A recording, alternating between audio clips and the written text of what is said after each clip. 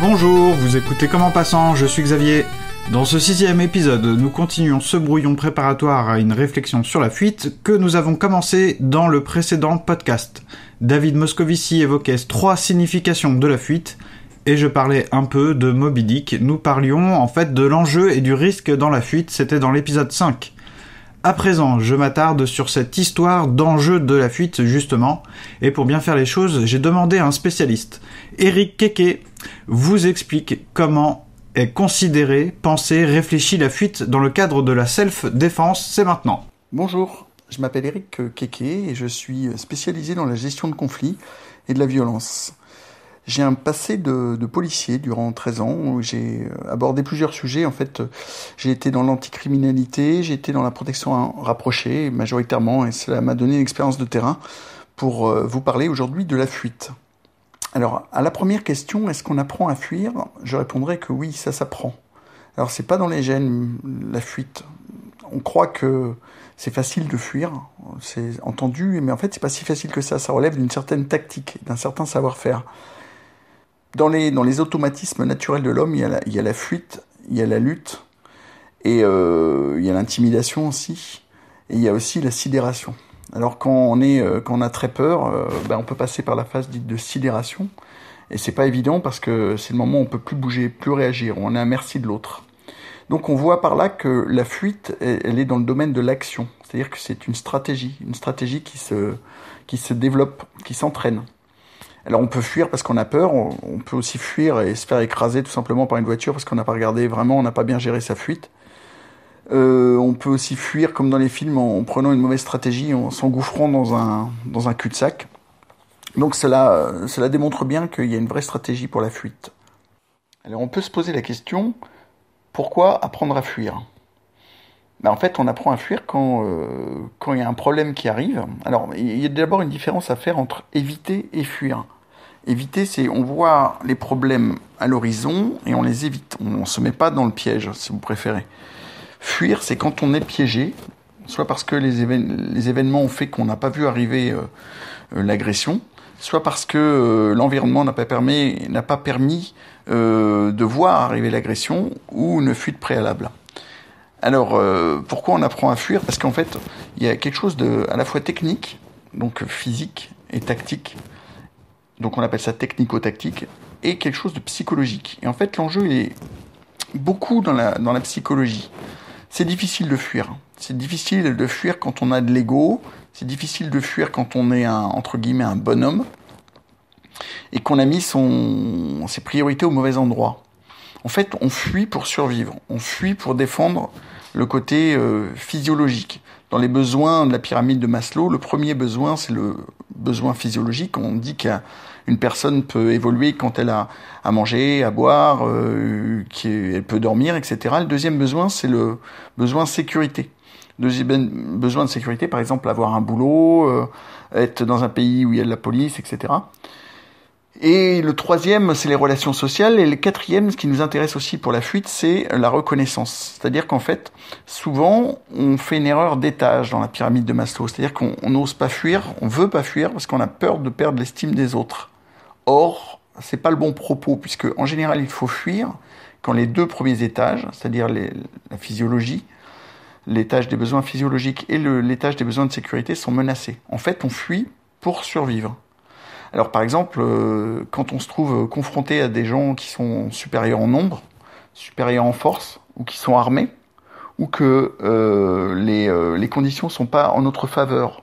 Sun Tzu, dans son écrit sur l'art de la guerre, il dit que l'intelligence c'est de fuir quand les, quand les forces sont pas en notre faveur. Et moi je crois beaucoup à ça.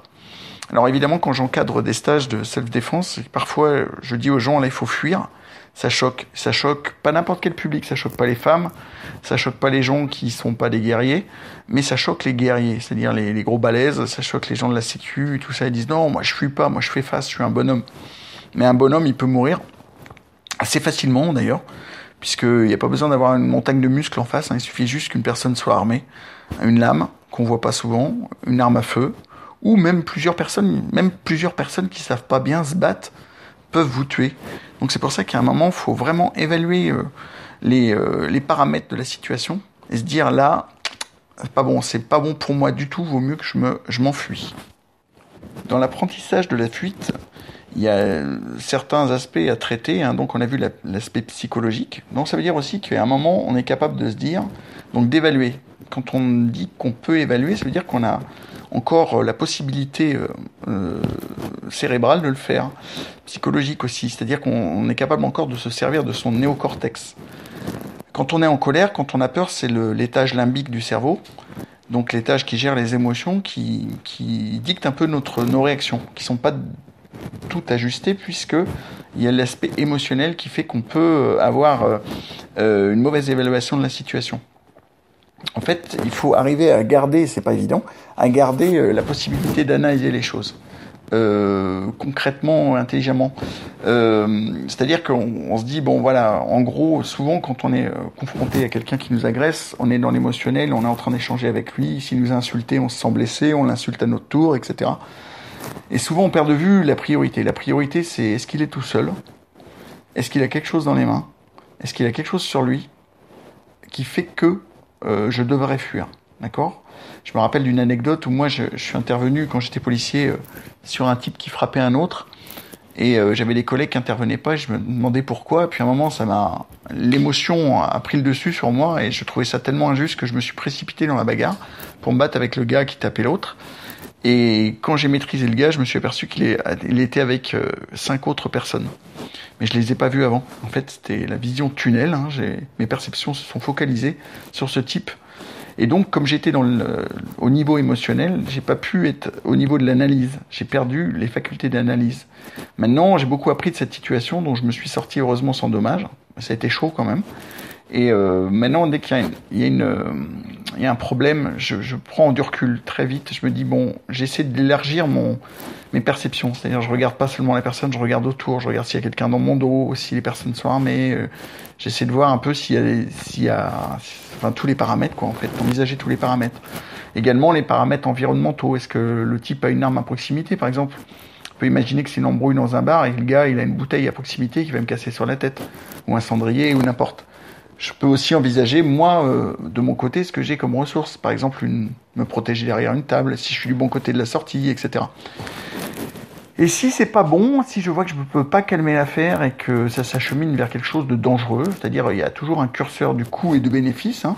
Si je vois que le, curseur pour moi, le curseur du coût est trop haut par rapport au bénéfice, je choisis de, de fuir, de battre en retraite intelligemment. Ça ne me pose pas de problème au niveau de de l'ego parce que je sais que je l'ai fait dans une bonne chose et que j'ai limité les risques pour moi. Alors comment on apprend ça aux gens? Ben, On leur fait prendre, euh, on leur fait analyser les situations déjà, on les met en situation. Donc je fais ça notamment avec l'Académie des arts de combat dans les stages de mise en situation CATS. CATS, c'est le concept d'adaptation tactique en situation. J'ai nommé comme ça parce qu'on apprend toutes ces choses-là. Et puis on lui apprend à faire la part des choses. Alors on les confronte à des situations jouées par des acteurs, on les filme, et puis après on leur remontre à la caméra les bons choix qu'ils ont fait, les mauvais choix. Et puis ils comprennent vite pourquoi c'était des mauvais choix, puisque s'ils ont fait les mauvais choix, ils sont euh, entre guillemets mis en difficulté par l'acteur qui va sortir une lame ou enfin un couteau d'entraînement, etc. Euh, Qu'est-ce qu'on apprend encore? On apprend le technico-tactique. Bah oui, parce que tourner le dos à la cible, c'est pas évident. C'est-à-dire que tourner le dos plutôt à l'agresseur, c'est pas évident. Souvent, les gens, quand ils fuient, notamment dans les cours de cette défense, ils fuient en marche arrière. Ce qui est très malaisé pour fuir dans la réalité, puisque si on vous met dans un environnement urbain, en marche arrière, vous n'allez pas faire 10 mètres sans vous casser la figure. Sur un trottoir, une voiture, etc. Donc on apprend à tourner les talons et à sprinter, qui est jusqu'alors la meilleure façon de fuir rapidement. C'est un autre avantage, c'est que ça éloigne les parties les plus vitales, notamment euh, situées devant, euh, au niveau du cou, la face, de l'agresseur. Hein, il ne reste exposé que les parties euh, comme le dos ou les fesses. Donc c'est toujours dangereux de se prendre un coup de couteau là, mais c'est pas vital. Euh, ça s'apprend aussi parce qu'on apprend à, courir d'une certaine façon, par exemple pour éviter les obstacles déjà. Quand moi je fuis, je risque de percuter euh, bah, une voiture, quelque chose, donc il faut que j'ai une vue sur l'endroit où je vais fuir. Il faut déjà que j'ai visualisé aussi était le meilleur endroit pour fuir pour moi. J'ai peut-être que je vais crier en même temps pour avertir des témoins, pour que les gens voient quelque chose, ils s'aperçoivent qu'il y a quelque chose, pour éventuellement alerter des forces de police. Je vais aussi euh, peut-être mettre des obstacles pour couvrir ma fuite, faire tomber des choses. Ça, on le voit pas mal dans les films. Euh, peut-être que je vais courir aussi euh, en zigzagant, en imaginant que la personne a une arme à feu et qu'elle me tire dessus, ben, vaut mieux courir en zigzag. On dit qu'à peu près il faut deux secondes pour ajuster une personne avec une arme, quand on sait tirer. Hein. Ben, si tous les deux secondes je fais un, un, virage à droite, un virage à gauche, la personne elle a grande chance de tirer à côté. On fait des exercices pour ça avec des airsoft, etc. Tout ça pour dire qu'il y a plein de petits détails euh, à gérer dans la fuite et que ça s'apprend. J'ai même fait des stages pour ça. C'est pas très racoleur d'un point de vue publicitaire de dire aux gens apprenez à fuir, parce que les gens ils veulent apprendre à se battre. C'est un peu l'erreur. On apprend à se battre quand on peut pas fuir. Mais d'abord on met la fuite en priorité. Donc moi je suis la règle du mieux vaut. Mieux vaut éviter que fuir. Mieux vaut fuir qu'avoir à négocier. Mieux vaut négocier qu'avoir à se battre. Mieux vaut se battre qu'avoir à euh, mourir, à subir. Il y a quand même un... Parfois, vaut mieux aussi se soumettre. Hein. Si je peux pas fuir avec la personne et une arme, parfois c'est quand même très intelligent de se soumettre, de faire profil bas, de se baisser, de s'excuser et de balbutier pour conforter l'agresseur euh, dans, dans sa toute puissance et le calmer par ce biais ça marche pas toujours. Alors on s'aperçoit qu'il y a très peu de méthodes de self-défense qui apprennent à fuir. Je crois bien qu'on est euh, à peu près les seuls sur le marché euh, à apprendre à fuir parce que notre système à nous, il n'est pas basé du tout sur le sur l'ego. D'ailleurs, toutes les personnes que j'ai réussi, euh, réussi à réunir à la DAC autour de moi sont les personnes qui ont, qui ont du vécu déjà, qui savent que la violence c'est pas un fantasme irréel, c'est quelque chose qui est vrai, qui est assez dégueulasse. Je prends le mot dégueulasse exprès. La violence c'est pas beau. Donc quand je peux éviter la violence, j'évite la violence. Même si je suis très fort, même si euh, j'ai des compétences, je parle pas pour moi, hein, je parle en général, euh, et que je crois que je peux maîtriser la situation, même si je la maîtrise, même si je mets l'autre KO, ça peut se retourner contre moi d'un point de vue euh, donc physique, hein, ça peut se retourner contre moi d'un point de vue juridique. La personne, il suffit qu'elle aille poser plainte, et puis voilà, ma vie va être transformée. Je vais avoir un procès, il va falloir que je me batte, peut-être qu'il va falloir que je paye. Je trouvais ça très injuste si j'étais dans mon bon droit, mais c'est comme ça que ça marche. Donc parfois, euh, fuir, c'est beaucoup d'avantages. Euh, ça veut pas dire fuir à tout propos et baisser sa culotte tout le temps non plus. Ça, il faut, faut bien le comprendre. Et donc, il y a des moments pour fuir. Et je répète ce que j'ai dit, c'est-à-dire qu'en fait, il y a une évaluation préalable qu'on apprend à faire une évaluation, évaluation tactique qui permet de jauger les forces en présence et les niveaux de curseur. Donc j'ai dit euh, coût-bénéfice. Si le coût est plus élevé que le bénéfice, pour moi, j'opte pour quelque chose de, de tactique et d'intelligent qui est la fuite.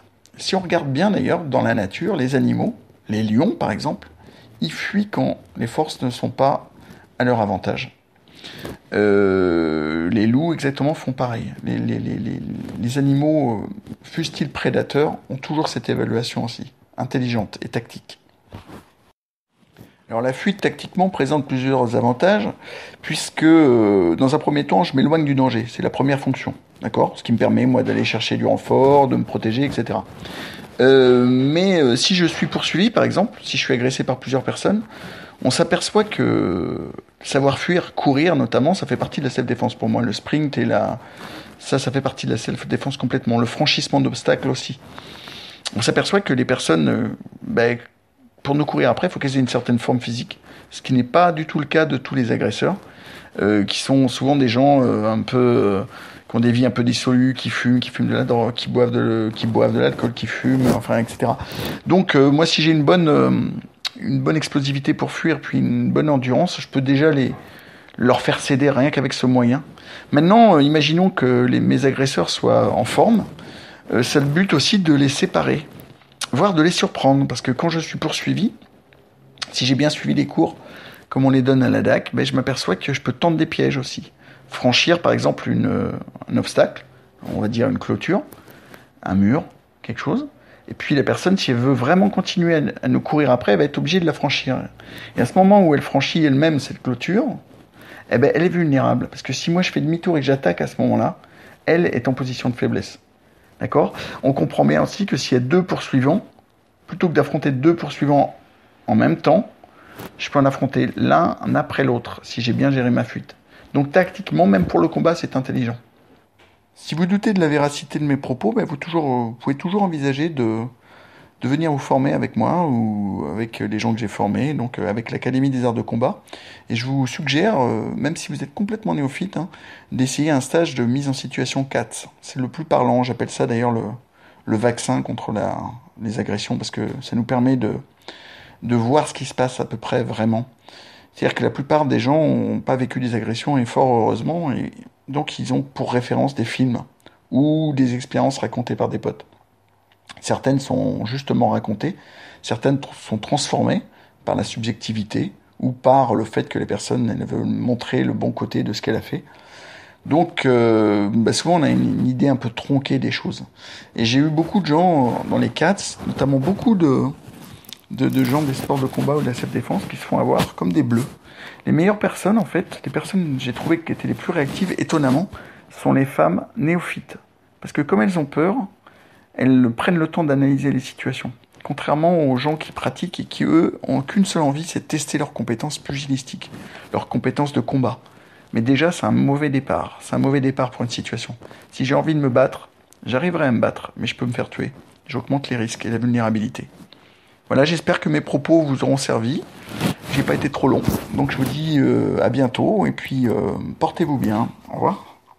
Merci beaucoup pour cette contribution.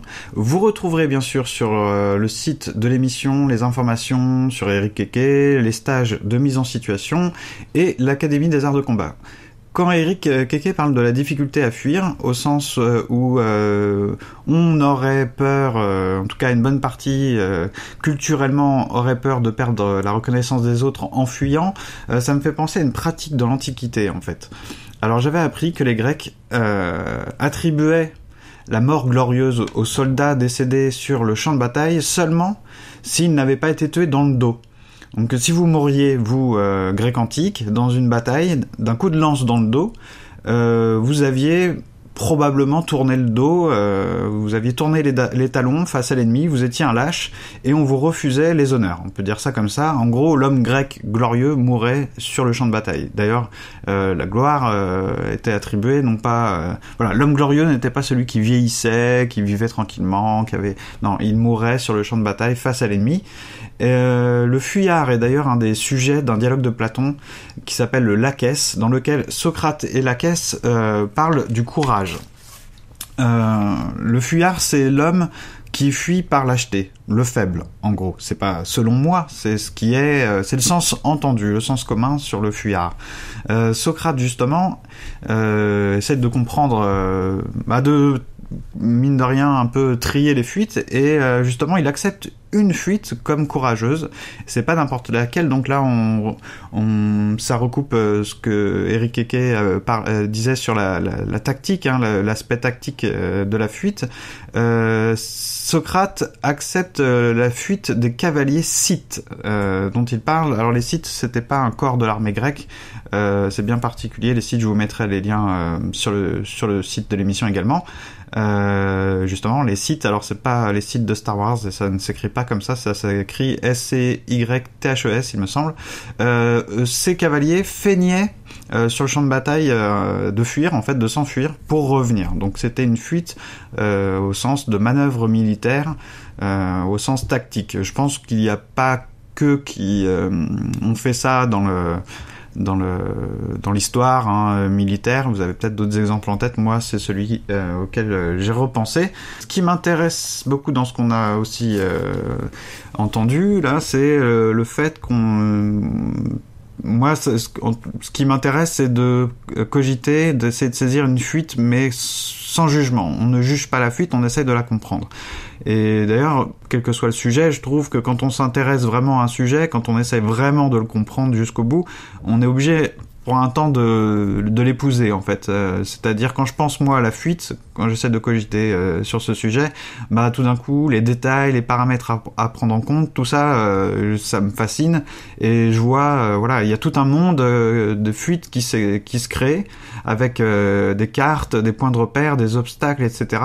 bref, je me dis bon, quelqu'un dont la vie est même une fuite ou quelqu'un qui met la fuite, enfin fait de la fuite un atout dans sa vie.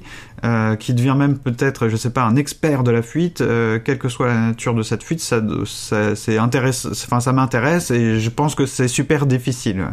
Euh, au-delà même du jugement qu'on peut qu'on peut émettre sur sa, sur cette vie, sur cette manière de faire. Euh, donc j'avais envie de dire voilà quelque chose comme ça du genre que c'est facile d'être un lâche, d'être un fuyard puisque c'est comme ça qu'on dit voilà d'un homme qui fuit lâchement mais ça paraît compliqué de transformer la fuite en quelque chose de positif. Quoi. Que ce soit sauver sa vie, lui donner un sens, il ne s'agit pas que de tourner le dos aux ennemis, il ne s'agit pas que de s'en éloigner, on risque aussi des choses en fuyant. Et on a vu, hein, euh, aussi bien avec David Moscovici qu'avec Eric Keke, qu'on met en jeu quelque chose euh, dans cette démarche, dans cette fuite, et même si c'est pour sauver sa vie et que on, a mis une priorité, euh, voilà, euh, c'est pas. On a surtout vu, voilà, que c'était pas facile, que ça ne s'improvisait pas comme ça. Si on ne savait pas ce que c'était, il faut préparer cette fuite pour qu'elle marche. Donc physiquement, mentalement, on doit adopter une tactique. Euh, hum, si ça doit être voilà intelligent. Sinon, si on fuit pas comme il faut, bah on bute contre des obstacles, hein, on se fait écraser par une voiture, on se fait rattraper ou euh, on, s'enfonce dans, un cul-de-sac. Euh, ça me semble valable pour euh, le fait de s'échapper d'une prison, d'un camp. Euh, ça me semble valable pour un fuir un type qui a un couteau dans la main que vous auriez croisé dans la rue. Ça me semble valable aussi pour quelqu'un qui aurait décidé de voilà de voyager, de souvent se, se déplacer, de, de s'éloigner de quelque chose pour le fuir. Et dans ce cadre-là, dans ce cas-là, je me dis voilà partir à l'aventure, fuir, oui, d'accord, c'est une fuite, mais est-ce que ce serait pas un combat, euh, soit pour la vie, soit pour le bonheur? Et du coup, est-ce que même là, du, le jugement de, lâcheté euh, ne vaut pas trop euh, dans ce cadre-là On aurait plutôt tendance à dire, je ne sais pas si c'est courageux, mais au moins qu'il faut une sacrée force pour le faire. Bonjour à tous, je me présente, Cédric Villélin, j'ai 34 ans, je pratique la boxe anglaise et la boxe française depuis une quinzaine d'années, mais aussi la self-défense depuis 8 ans. Et dans la vie, je suis aussi animateur culturel depuis une quinzaine d'années et globetrotter aussi pareil depuis une quinzaine d'années. Avant de commencer, je voudrais féliciter Xavier pour cette initiative d'expression et vous remercier aussi vous, internautes, pour ce moment d'écoute et de partage. Pour pas perdre le fil conducteur tout en gardant l'émotion et raconter un peu ce que j'ai vécu, ben voilà, j'ai préféré le faire en, en récit. Alors à mon sens, la fuite est un moyen de survie que l'on connaît très bien et qui peut aussi nous sauver dans les cas extrêmes de notre vie. À un moment particulier de ma vie, j'ai aussi cherché à développer le bien-être, tout en fuyant la négativité que je vivais au quotidien. En me penchant de près sur le sujet, cela m'a replongé jusqu'à l'enfance. Après avoir parcouru une quarantaine de pays autour du globe, il est intéressant d'observer ce rapprochement dû à une partie de mon enfance. J'aime beaucoup ce dicton qui dit que fuir, c'est mieux se retrouver. Je rajouterais aussi que fuir m'a très souvent amené à chercher une certaine sérénité, des réponses accompagnées d'une paix intérieure. J'identifierais cette, cette phase de la vie un peu comme un lâcher-prise et une envie de vouloir avancer sans répit pour ne pas sombrer dans mes soucis familiaux et personnels. Elle m'a également permis de m'exprimer dans mes recherches d'emploi dans le milieu professionnel, comme par exemple fuir de nombreux emplois qui me rendaient insatisfait jusqu'à trouver un jour le meilleur pour moi-même, une sorte de quête personnelle. Ces vertus m'ont aidé à accomplir de multiples exploits lors de mes voyages aux quatre coins de la planète, comme apprendre les langues, m'entraîner dans de nombreux clubs de boxe et de self-défense, ainsi que la réalisation de reportages ralliant le sport et l'aventure, accompagné d'un livre en préparation. Je peux décrire la fuite comme un allié qui m'a souvent guidé vers l'inconnu et accompagné dans de nombreuses situations de la vie. Un sentiment de liberté est aussi l'une des causes d'avoir fui à de nombreuses reprises. Cet état d'âme est aussi à double tranchant, puisque la fuite peut être un schéma qui se répète en boucle si on ne la traite pas. On pense laisser derrière nous les soucis les plus traumatisants, frustrants, et tout ce qui nous tracasse au quotidien en pensant s'en éloigner, voire même les oublier, jusqu'à comprendre avec le temps que la fuite nous poursuit et nous revient en pleine face comme un retour d'un boomerang. Je me souviens de mes premières grandes expéditions comme si c'était hier, depuis l'île de la Réunion et le Canada, entrecoupées de quelques années. C'est la fuite qui a été le moteur de mon envie de partir à des milliers de kilomètres. Avant de devenir un globe-trotter, j'ai commencé par fuir ma vie en France à plusieurs reprises. À l'île de la Réunion, c'est mon vieil ami Michael qui m'a gentiment reçu comme un frère pendant ces six mois d'aventure. J'avais tout juste 19 ans. J'attendais depuis longtemps ce moment de partir loin de tout. Dans ce moment de fuite, et après quelques mois, je me suis vite rendu compte que ce n'était pas facile d'être loin des siens. On sort rapidement de sa zone de confort. Il faut tout recommencer depuis zéro, et à cet âge-là, on manque d'expérience et d'argent. Le travail a été le plus frustrant dans ce voyage. Après plusieurs tentatives d'intégration, j'ai dû rebrousser chemin. Finalement, je me suis dit que j'avais gagné une nouvelle expérience tout en me faisant une idée de ce qu'est fuir ces problèmes. Rien n'est perdu puisque je vais me servir de cette expérience pour mes prochains voyages. Durant ces six mois, j'ai occupé mes esprits avec tout ce que pouvait m'offrir cette merveilleuse île paradisiaque. Cette fuite m'a permis de vivre près d'une autre culture, d'apprendre sur moi-même, de vivre en colocation pour la première fois, de connaître des gens formidables et l'apprentissage de la savate boxe française. À mon retour de ce premier voyage, j'étais devenu comme un jeune homme un peu plus expérimenté. En revanche, j'ai retrouvé tout ce que j'avais fui. Ce voyage à La Réunion m'a aussi fait réaliser combien il était difficile de trouver du travail dans la mécanique automobile. Je n'ai pas eu la chance de continuer très loin mes études. Je me suis arrêté au niveau CAP mécanique auto. Après réflexion, ainsi que toute l'admiration que je portais sur mon premier professeur de boxe anglaise, je vais rapidement me former au métier de l'animation. Ça va être une porte d'entrée pour devenir enseignant de boxe. Ce sont quatre belles années qui vont m'occuper avec mon nouveau métier d'animateur. Après ma formation dans l'animation avec les enfants, je vais m'orienter grâce à une opportunité dans l'animation avec des étudiants étrangers. Sans grande expérience, je vais apprendre ce métier sur le terrain et passer les deux mois d'essai jusqu'à être embauché. Je vais exercer un des plus beaux métiers au monde, celui d'animateur culturel à l'Institut savoisien d'études françaises pour étrangers, situé au cœur de l'Université de Savoie. L'animation remplit mes journées, de belles rencontres, ainsi qu'une multitude d'activités. D'être occupé me permet de m'évader dans mon travail. Après quelques drames dans ma vie privée, en cette année 2005, je choisis avec regret de démissionner. C'est pour mon bien, je n'ai pas d'autre choix. Une série d'événements extrêmement difficiles à vivre me tombe dessus, en peu de temps. Je suis en colère, j'en veux à la terre entière, je suis perdu. C'en est trop, partir loin de tout me paraît être la solution. Mon cœur est brisé après la rupture avec mon ex-copine. J'en veux aussi à ma famille suite à quelques soucis qui m'ont sacrément mis en colère. Le CED a pété un plomb, c'en était trop. Pour ne pas sombrer dans la souffrance ou encore dans la déprime, je décide de prendre mon sac à dos et de partir seul sur une terre inconnue. Je n'ai aucunement l'envie de faire face à tous ces problèmes. Je préfère fuir et laisser tout derrière moi. J'ai la boule au ventre. Je pleure de colère, de tristesse. J'ai passé des heures à réfléchir avec un fond de musique. Je vais prendre une seule décision après avoir écrit sur deux feuilles blanches les avantages et inconvénients de vouloir rester ou prendre la fuite. C'est évident, ça tape à l'œil. L'idée d'aller visiter le Canada et d'apprendre l'anglais du côté de Vancouver pendant un an est la décision que je vais prendre. Je n'ai pas choisi une fuite facile.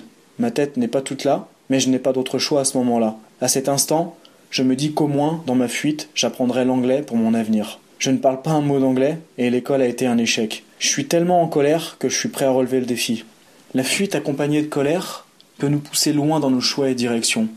Impensable de voir combien de choses nous sommes capables de réaliser dans ces moments de détresse de la vie. Sur place depuis le Canada, mes esprits ne sont pas vraiment reposés, puisque je repense à tout ce que j'ai laissé derrière moi. J'essaie d'être fort sur le moment. La fuite me joue des tours. Ce sentiment me motive davantage à être encore plus occupé dans ma nouvelle vie. Pour évacuer le trop-plein, je vais m'entraîner régulièrement à la boxe. J'avais tout pris avec moi, ce qui va me permettre d'évacuer, spécialement ce qui me tourmente. Dans le même temps, apprendre une langue étrangère occupait mon cerveau, jusqu'à apaiser mes esprits. Apprendre l'anglais est un de mes plus grands défis intellectuels dans lequel je me suis lancé. Cette fuite colérique m'a permis de réaliser l'inattendu. Une fois de plus, j'occupais ma vie dans le présent, mais la fuite n'avait pas tout résolu dans mon passé, qui lui me poursuivait dans ma course. Le constat le plus important était de me savoir apprendre, construire une nouvelle vie, avancer en me fixant de nouveaux objectifs. La fuite n'est pas une mauvaise chose en soi. Je me rassurais tout seul à ce sujet-là, pour ne pas avoir de regrets. J'ai appris un tas de choses lors de cette nouvelle destination. J'ai découvert une ville très agréable à vivre. Je me suis fait plein de copains, des Canadiens, Québécois, Brésiliens, Mexicains, Français. J'apprends un peu plus sur moi-même par la même occasion. Le visa vacances-travail, d'une durée d'un an, touchait à sa fin, ce qui m'a obligé à revenir en France. Partir loin de la maison, avec toujours cette envie de fuir tous mes problèmes, est un peu comme faire sa propre thérapie. Revenir de long voyage demande parfois une certaine maîtrise de nos émotions, chose difficilement applicable, ainsi que quelques connaissances en psychologie. Pour cela, et après quelques recommandations, je vais prendre le temps de lire quelques livres philosophiques, dont certains tirés d'histoires vraies. Je vais poursuivre cette manœuvre pour de nombreuses années, dans le but de trouver des réponses et l'envie de vivre plus heureux. Un peu perdu à mon retour en France, je vais essayer de reconstruire ma vie. Je tourne en rond, je ne trouve pas ce qui me convient. Mes amis, les soucis sont toujours là, ils ne m'intéressent plus. Je pense de nouveau à la fuite, à repartir voyager. Je me sentirai peut-être mieux, plus loin, me dis-je. Je finis par aller travailler dans le sud-ouest de la France, à Sainte-Marie-de-la-Mer, vers Perpignan. Sur place, je suis animateur dans un camping. Je découvre une autre région de France, par la même occasion. Les plages sont magnifiques, quel beau pays. Quelques problèmes me font face avec le directeur qui gère tous les animateurs de différents campings. Son problème, c'est l'alcool, la drogue et des remarques déplacées à chaque soirée. Je craque. Six mois que je suis revenu, et je n'arrive pas à trouver ma place dans le monde du travail et parmi les miens. La colère reprend sa place, l'envie de prendre mon sac à dos et de foutre le camp encore plus loin mente l'esprit. J'ai entendu parler de l'Australie. Perdu dans mes esprits, ainsi que dans ma vie, je décide de prendre le large en tentant le diable.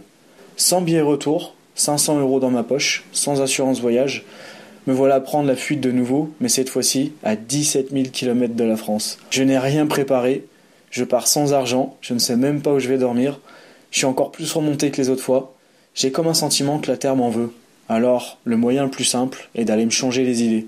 Ce voyage en Australie va être un déclenchement sur plusieurs points. À peine arrivé, je vais rapidement trouver du travail. Plus expérimenté, ma vie sur place est plus facile à gérer. Mon anglais s'est amélioré depuis mon année au Canada. À la fin de mon année, je vais décrocher un poste de réceptionniste dans une auberge de jeunesse à Sydney. Je continue à aller fréquenter les clubs de boxe pour évacuer le trop-plein. Le sport fait lui aussi partie de ma thérapie depuis mes débuts, mais aussi en voyage. Je ne fais pas que fuir finalement, je me construis à chaque destination. C'est à Sydney que je poursuis mon aventure, avec pour objectif d'ouvrir une école de BF. Cette expérience donne encore plus d'importance à mon investissement dans le monde du sport. Ma colère va s'estomper depuis ce voyage en Australie, ce qui n'exclut pas cette envie de fuite permanente. Juste avant de rejoindre Sydney, et après quelques mois d'économie depuis la Gold Coast, je vais profiter de barouder sur la côte est du pays, avec mon colocataire allemand Mario. Comment ne pas apprécier sa vie dans ces moments-là? Cette deuxième grande expédition aura contribué à mon évolution, mais aussi à ma place à travers la boxe. Avec beaucoup de recul, je réalise davantage tout ce que la vie m'apprend. Revenir sur mes pas est aussi formateur que de prendre la fuite. Il y a comme un message que je me dois de décrypter à chaque étape. Le bilan de mon année en Australie est encore plus complet que je l'aurais imaginé. Partir sur un vrai coup de tête m'a fait réaliser de nombreuses choses, une fois de plus. À mon retour en France, je vais ouvrir les yeux en me disant qu'il y a aussi de nombreux projets à réaliser chez moi et qui peuvent aussi contribuer à mon évolution. Revenir à la maison, c'est aussi revenir plus fort qu'on est parti. Même si je souhaitais rester en Australie, je vais apprécier de revenir aux sources. Fuir si loin comme je l'ai fait m'a démontré par moments combien il est difficile de vouloir se détacher de tout. Je reste avant tout un être humain, avec un cœur d'enfant, qui a besoin de voir sa famille et ses amis. Je vais reprendre mes fonctions d'animateur culturel à l'ICEF, ce fameux institut que je porte dans mon cœur depuis mes débuts dans l'animation. Lors de ces retours, il faut se réadapter à son environnement, son pays et sa culture. L'animation ainsi que les entraînements occupent mes journées. Je suis content de revenir, je me sens apaisé. Depuis mon départ en 2005 au Canada, j'écris mes histoires de voyage sur papier. En écrivant ou encore en racontant toutes mes histoires de voyage, je réalise que depuis mes débuts, je remplis ma vie de nouvelles expériences, d'idées, de projets et d'objectifs en transformant mes pensées négatives en pensées positives. Finalement, je trouve intéressant d'écrire ce que je vis et ce que j'ai sur le cœur. Bien plus tard, en 2011, après avoir écrit sur ordinateur mon autobiographie, je découvre que les problèmes sont liés à mon entourage. Que j'en fais une affaire personnelle. Après une année passée en France, l'envie de tenter ma chance en Nouvelle-Zélande est en projet. C'est sûrement la facilité de vouloir rejoindre mon ami la fuite, mais quelque chose me pousse à d'aller voir ailleurs. Cette fois-ci un peu plus expérimenté, je sais que je n'ai rien à perdre. Partir m'aide à faire le point, rencontrer des gens sur ma route est très formateur. Cette fois-ci j'ai mon diplôme de boxe, pourquoi pas percer en Nouvelle-Zélande, ça passe ou ça casse. Tout quitter deviendrait presque une habitude. Cette fois-ci, j'ai un peu plus d'argent de côté pour assurer mes arrières. Visa vacances travail en poche, je pars tenter ma chance. Sur place, je vais rapidement m'apercevoir qu'en Nouvelle-Zélande, la valeur du dollar est plus faible qu'en Australie. Difficile de bien gagner sa vie et de faire des économies. Je profite de visiter l'île du Nord en la traversant en bus jusqu'à la ville de Wellington. Je suis comme un nouveau-né qui découvre le monde. La vieille savate n'intéresse pas trop les All Blacks, c'est plutôt le rugby par ici. Venir prendre le travail des autres n'est pas toujours le bienvenu, surtout dans le monde du sport. Personne ne m'ouvre la porte dans les salles de boxe. J'apprends beaucoup sur ce nouveau pays. Je questionne les locaux, ainsi que quelques voyageurs. Je comprends qu'on vient plutôt ici pour y vivre ou passer du bon temps à visiter la beauté du pays. Pour continuer à voyager, j'ai besoin de faire des économies. La Nouvelle-Zélande n'est pas le pays qui m'aidera. Après des heures de réflexion, seul, face à moi-même, loin de la France, je décide de revenir en Australie pour une deuxième tentative. Nous sommes fin 2008 et la crise a touché de nombreux pays. Fuir la Nouvelle-Zélande pour trouver mieux en Australie est la cause de mon départ. Me voilà en route pour quelques mois. C'est du côté de Brisbane que je vais poser mes sacs. Depuis Thrifty, une entreprise de location de voitures, je conduis des voitures partout entre Brisbane et la Gold Coast, la planque. Après quelques agressions dans les rues, dont une où j'ai dû prendre la fuite, je vais m'initier à la défense dans la rue, une méthode de self-défense française que je vais apprendre aux côtés de Craig Geminer. Les aventures du voyage, c'est aussi de passer du bon temps quand les choses ont du mal à avancer. À force d'essayer de vouloir vivre à l'étranger, sans trouver ma place, je me questionne en me disant Mais où dois-je aller vivre? Où est ma place? Ce n'est pas perdu, je garde espoir. Naviguer d'un endroit à un autre est fatigant par moments, mais l'enjeu du voyage mérite vraiment d'être vécu. En cette année 2009, je décide d'aller voyager au Brésil ainsi qu'au Pérou et Bolivie. C'est à partir de ce moment précis de ma vie que je vais voyager dans un esprit de découverte sans vouloir chercher à vivre ailleurs ainsi qu'à trouver du travail. Cette forme de voyage est bien plus reposante et agréable à vivre. En faisant un retour sur le sujet de la fuite, tout ce temps passé en Océanie m'a permis d'avancer dans ma vie et d'être un voyageur plus expérimenté. En France, je me suis rendu compte qu'en travaillant efficacement, je pouvais économiser suffisamment pour repartir où bon me semble. L'analyse de mes échecs ainsi que de mes réussites m'ont permis de comprendre que de revenir à la maison n'était pas si mal. Que mon plus gros problème venait de moi, de ma vie familiale et sentimentale, et non de, de tous ces pays visités que fuir n'était pas la meilleure solution. Je rajouterais que de partir pour toutes ces raisons était éphémère, et que cela m'occupait quelques mois, voire une année, que la réalité de tous mes problèmes me rattrapait assez rapidement. Avec le temps, je suis devenu accro à vouloir repartir, explorer le monde, passer du bon temps à l'étranger, apprendre des autres, me surpasser, mais aussi trouver ce que je ne trouve plus en France. Quand je suis à l'étranger, la France me manque, quand je suis en France, l'étranger me manque, c'est sans fin. Quand on est sur les routes, on a ce sentiment de parler aux gens plus facilement, de passer des moments plus intenses, d'être un peu plus humain, d'être compris malgré nos différences, de recevoir de l'amour des gens plus facilement quand on en a à revendre. C'est aussi un, moment qui nous réunit, surtout quand on voyage seul. Fuir de ce que je n'ai pas chez moi, je le retrouve en voyage d'une autre façon. Après de nombreuses lectures, j'ai réalisé que je pouvais aussi partager tous ces bons moments à la maison et que c'était plutôt un état d'esprit à comprendre avec le temps. Aller toujours plus loin m'a aussi aidé à mieux apprécier cette magnifique partie du monde où je suis né, les Alpes, la douce Savoie. C'est en expliquant d'où je venais, à chaque destination, que je me suis rendu compte que chez moi, c'était magnifique. Très souvent, on me demande pourquoi est-ce que je reviens toujours par ici. Je donne beaucoup d'importance à la beauté de cette région ainsi que de sa nature. Difficile de ne pas être près de mes amis ainsi que de ma famille que j'aime beaucoup. En réfléchissant un peu, il n'y a pas si longtemps que j'ai posé mes grosses valises. Mon dernier retour date de fin 2013, après mon retour de tour du monde Cédric on. Juste après ce retour, j'ai continué ma formation dans le domaine de la self-défense, aux côtés de l'Académie des arts de combat. J'ai passé mon diplôme d'animateur en boxe de rue après avoir visité de nombreux pays, tout en comparant les opportunités d'emploi, j'ai pris la décision de rester vivre dans les Alpes le temps qu'il faudra. En discutant avec des amis, ainsi qu'en suivant mon instinct, c'est à Genève que je pars ouvrir une école de self-défense et de savate boxe française. En ce début d'année, j'ai obtenu le grade d'expert en BF, appelé gant d'argent technique. Quel honneur! Transmettre toute cette expérience est aussi quelque chose de gratifiant. Cela donne du sens à mon existence et me maintient en forme physiquement et psychologiquement. L'aventure suisse a commencé il y a presque un an. Je retrouve ces sensations d'être dans un pays étranger. La ville de Genève est majoritairement peuplée d'étrangers. Son lac, ainsi que ses montagnes, me rappellent ma ville natale, Aix-les-Bains. Entre 2014 et 2016, j'ai continué à voyager depuis l'Europe jusqu'à l'Amérique centrale, en associant l'aventure martiale tout en baroudant. Voyager fait partie de ma vie depuis une quinzaine d'années. Je suis passé par tous les états d'âme lors de ces voyages. Il y a certainement de la fuite dans ce que je vais chercher ailleurs, cela me donne un certain équilibre, et je ne suis pas prêt de m'arrêter de voyager. Je vois le monde d'un autre œil à chaque destination. J'ai beaucoup aimé cette vidéo que Caroline m'a partagé, une enseignante de self-défense, celle du chevalier des temps modernes. Je suis en quelque sorte un chevalier qui parcourt le monde à cœur ouvert.